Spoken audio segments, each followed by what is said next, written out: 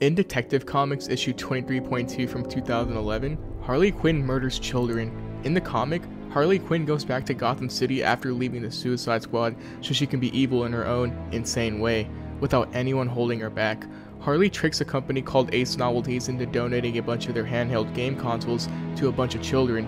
She personally helped to bring boxes of the handheld game consoles to places where people, primarily children, can go pick them up. Once all was said and done, she called back Ace Novelties and told the person on the line to update the game software. The employee, not having any idea, complied. When he updated the game consoles, it showed the update being loaded onto everyone's device using it. And once it was all done, the consoles all exploded at the same time, killing a ton of children. Harley watched the explosions happen all over Gotham, showing no signs of remorse, while still being her goofy self. It's one of the most evil things Harley has ever done, and shows that in some interpretations of the character, she may be too far gone from ever redeeming herself.